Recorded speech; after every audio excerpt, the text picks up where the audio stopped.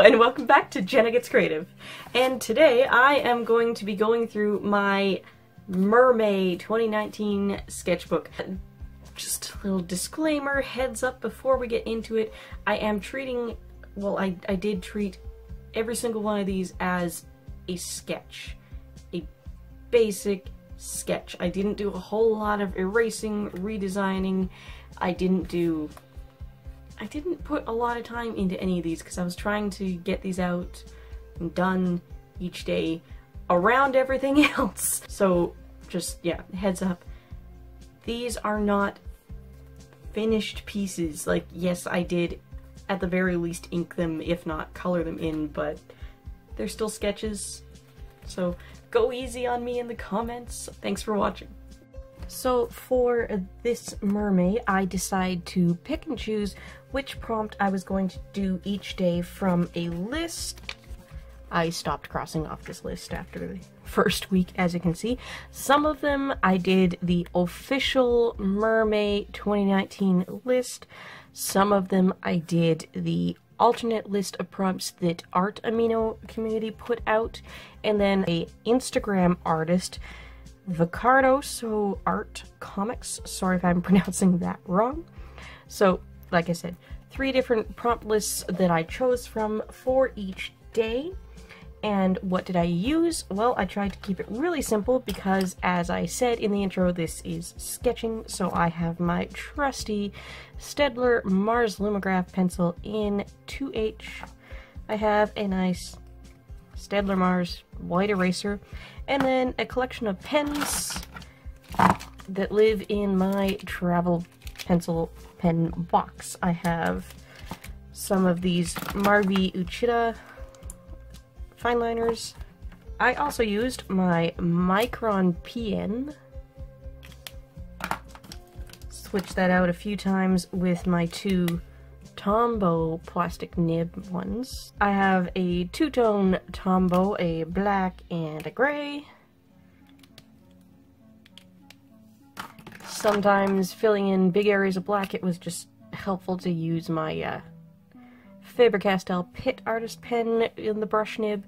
And of course, a Uni-Ball Signo white gel pen and you will see a couple of my earlier pieces in this sketchbook. Later on, I was going too fast, I give up. Earlier sections I did color in. I have, in this cute little Totoro pouch, I have my gel pens, and yes, that is a whole bunch of gel pen refills, and then a couple of these pen bodies that I just put the one I want in there. And I also used the uh, Staedtler Super Soft pencils from a recent ScrawlrBox. As I said, I did keep these just sketch quality, so be kind. That was the swatches from when I did the ScrawlrBox. This is the ScrawlrBox from March.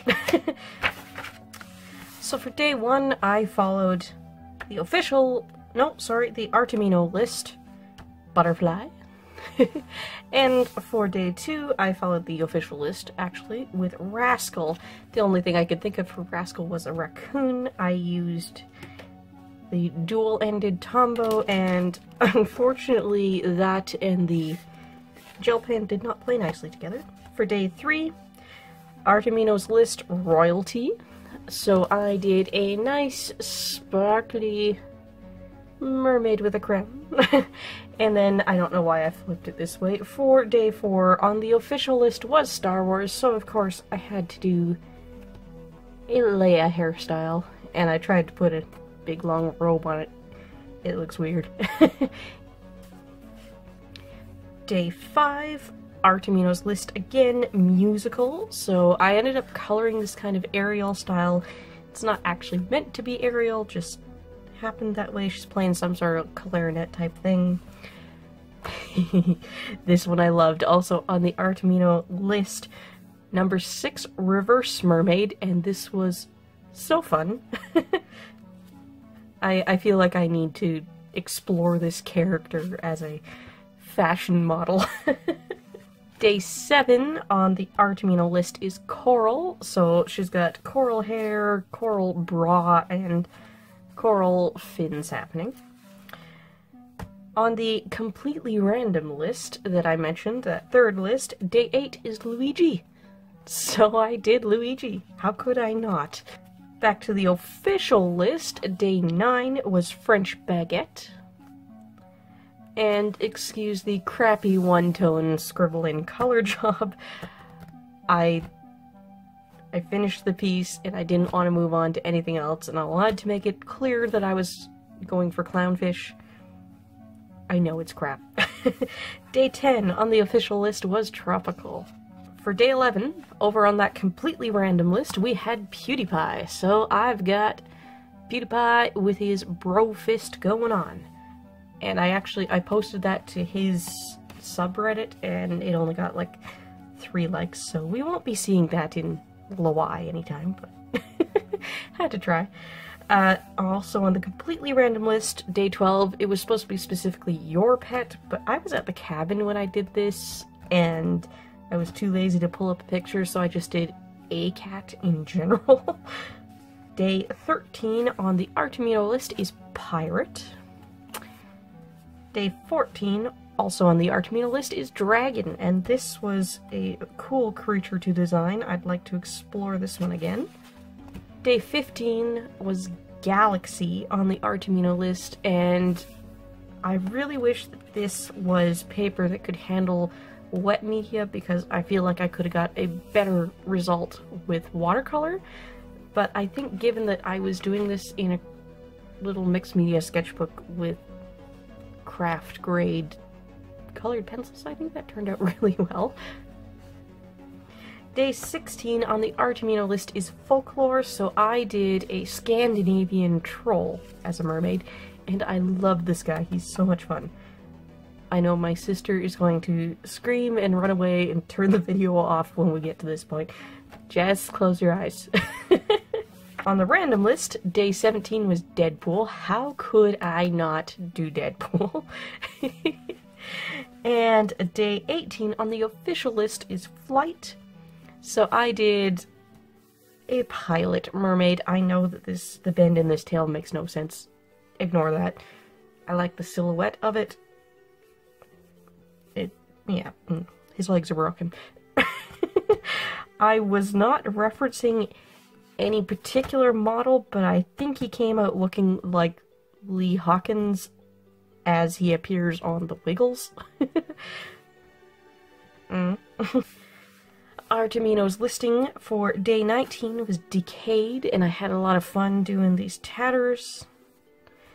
I know she looks kind of stiff and her jaw's misaligned, but whatever, she's decayed. Official list for day 20 was Honeybee. The tail may end up giving more of a wasp appearance to it, but as you notice, it is a cute and fuzzy honeybee. Day 21, the Art Amino list said witchcraft, so I have this witchy little mermaid doing a little Salt Bae into her cauldron. And one of my absolute favorites, day 22 on the completely random list said bear. And I saw this adorable pose of a polar bear swimming underwater. Probably taken through the window in an aquarium or something. And I just had to turn that into a mermaid. It was so cute. Art Amino's listing for day 23 said to turn your OC into a mermaid. So this is Gabby, who you've met recently. She is my mascot for that new channel I'm launching, Game and Gab. You've seen her recently. Day 24 on the official list is Shrimp. And I realize they already have a long tail with fins, but this is distinctively a mermaid tail, thank you. Day 25 on the official list is Geek. One of the other two lists had Geek earlier in the month, and I almost did it then. Thankfully, I looked ahead and noticed that the official list was Geek here, so I did it here. And I wasn't going for any person or character in particular, but after I got it drawn, I realized I basically drew my high school friend Jeff. For day 26 on the Art Amino listing, the prompt was carnival, so I drew the strongman type guy you might see at a carnival, and I, I did accidentally fill in his belly button over top of the shirt, which I originally didn't plan to put there, but then I went with it and went, you know what, it's skin tight, let's draw some rib lines. For day 27, the art amino listing was lure, so I took this opportunity to do an angler fish and kind of elongated him into a mermaid tail, even though it's already a fish. I guess I could have reverse mermaided this one, that would be interesting too. It would be quite top heavy though.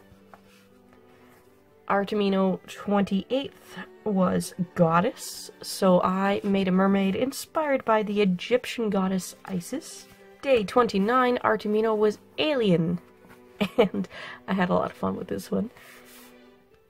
At this point, like, I had shown my husband this one, and shown my husband this one, and shown my husband this one, and I was like, wait a minute, you're drawing them that fast? Yes, yes I was. I was knocking this, the rest of this out of the park the day that I'm showing you this so that I could get it filmed ahead of time. On the random list for day 30 was Charlie Chaplin, and I love Charlie Chaplin, so I had to take this one on.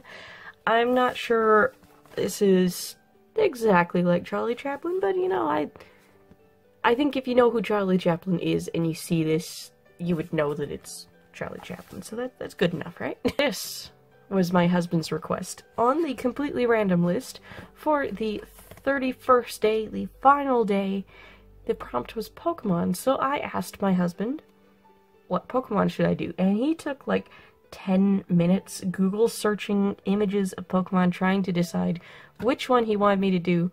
He actually had two requests. I did both of them. This one was first, and I love it. Absolutely love it. He requested Jigglypuff. and this is exactly what he was hoping I would do with it. Take the angry Jigglypuff, ready to draw on all your faces after you fall asleep to her singing. His other request, which didn't work quite as well, was Grumpy Charmeleon. But, you know, whatever. So, if you did MerMay, please link me down below. Tell me how to find your stuff. I would love to see what you did. Uh, have you participated in MerMay before? Are you going to do it again next year? And of course, there are plenty of prompt lists. You can always do this any time of the year. Yeah, this was fun. This was my first time actually doing MerMay. Admittedly, it is... what day is it? It is 1 in the morning on the 25th, and I am done because I needed to get this filmed ahead of time.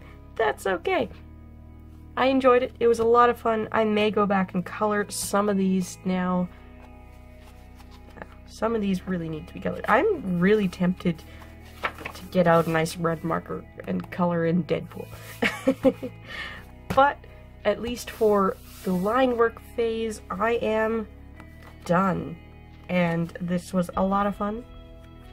I really challenged myself with the human form aspect on the prompts that lent themselves to be humans. I always tell myself I'm not good with humans and humanoid characters. So this was really good practice, and it was a really good confidence building.